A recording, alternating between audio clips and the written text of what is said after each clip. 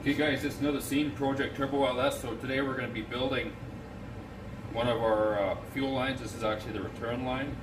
Uh, number 6 PTFE, polytetrafluoroethylene. So the reason you want to use this is because it's uh, the uh, polymer, it's high resistance to heat, so it can take 327 degrees C before it melts. So anytime you have a fuel system or anything like that, that are running close to engine components. We want to run the uh, PTFE, and it's also very tough. The, inner jacket is basically the material here.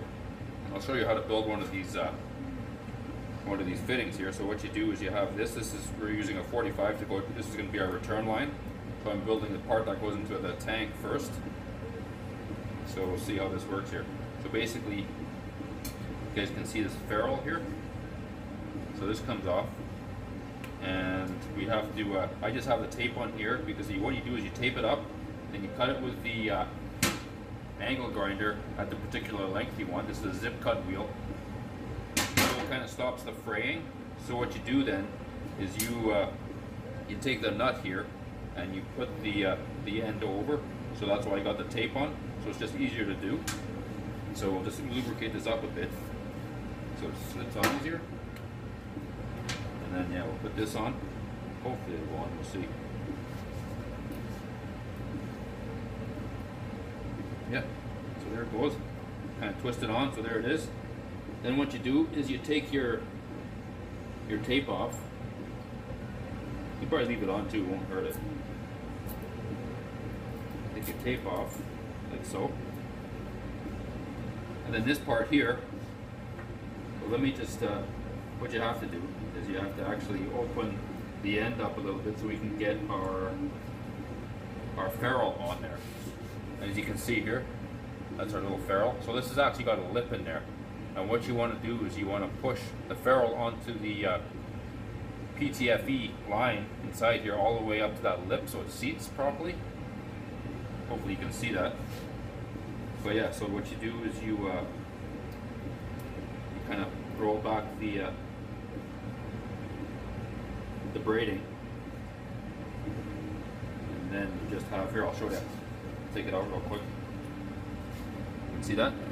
So you roll back the braiding there so we expose our uh, inner PTFE line and you take your ferrule and you basically push it on there until it seats. Yep, right there. So I'm not sure if you guys can see that, but it is now seated all the way against the inner lip there, so that's good. Then what you do is you just pull this forward so it goes around, you kind of have to twist it, so. Yeah, right there. I'll put this back in the vise just to make it easier.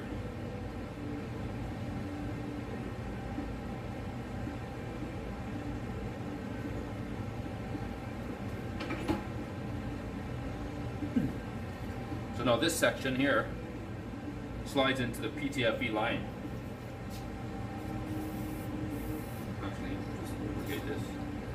So, so what you do is you slide this in now.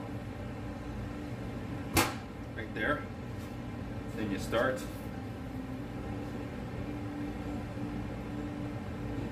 You turn the nut on. You just got to get it started. And that's the trick here and it'll pull itself. I think it started right there. Yep. So now it's pulling the whole assembly together. Yep. Then what you do, open up the vise and put our nut on the flats. So.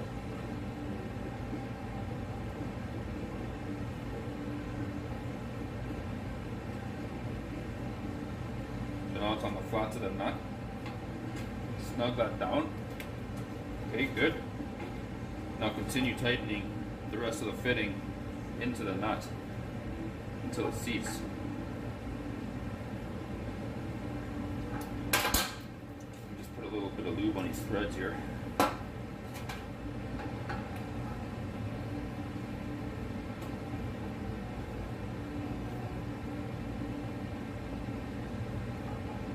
So what's happening as this is threading into here, it's actually pulling our, our male part into the PTFE line. It's actually expanding it. So it makes a really nice tight seal of the fitting.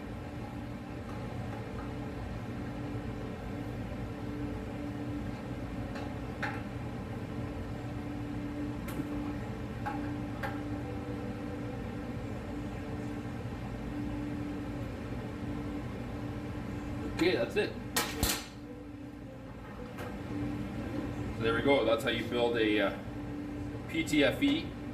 Again, polytetrafluoroethylene fitting and line. So there it is, guys. So this will basically thread onto my uh, fitting in the tank as a return line for Project Turbo LS.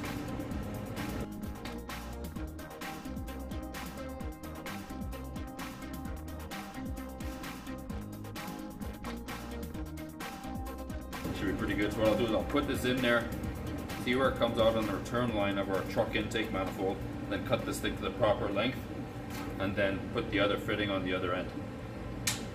And that's it guys, so hopefully uh, that was pretty clear and straightforward how to build a uh, PTFE fitting and uh, fuel line.